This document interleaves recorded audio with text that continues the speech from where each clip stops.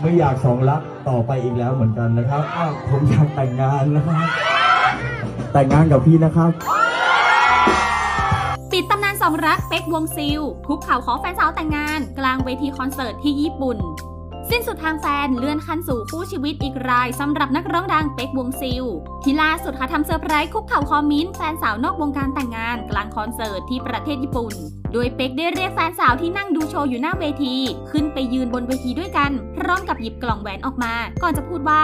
ไม่อยากสองรักต่อไปอีกแล้วเหมือนกัน วันนี้เป็นวันที่มีเพื่อนๆพี่ๆน้องๆมากันเยอะ ตื่นเต้นมากนะครับ ขออนุญาตใช้เวลานี้ บอกทุกคนว่าผมอยากแต่งงานนะครับ พอได้ยินคำนั้นค่ะแฟนสาวของเป็กซ์ก็หันมามองหน้ากับเป็กซ์ จากนั้นก็ช็อต feel ทุกคนด้วยการร้องเพลงสองรักออกมา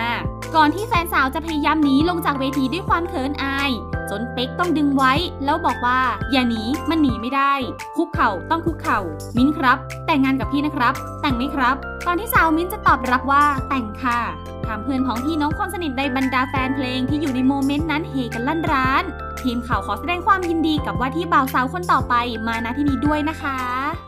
ไม่อยากสองรักต่อไปอีกแล้วเหมือนกันนะครับ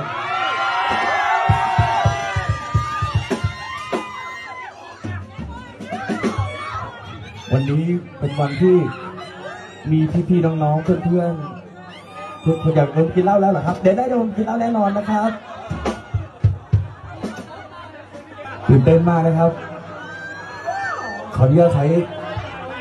เวลานี้นะครับ บอกทุกคนว่าผมอยากแต่งงานนะครับ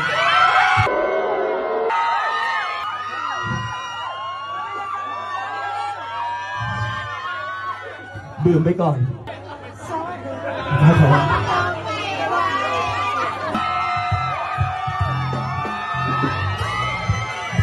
อย่าหนีมันหนีไม่ได้ มันหนีไม่ได้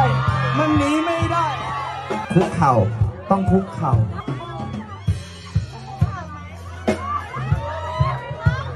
มิ้นครับ มิ้นครับ แต่งงานกับพี่นะครับ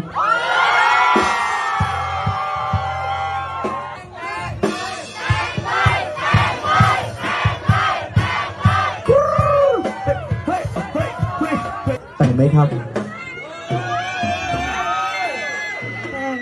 แต่งครับ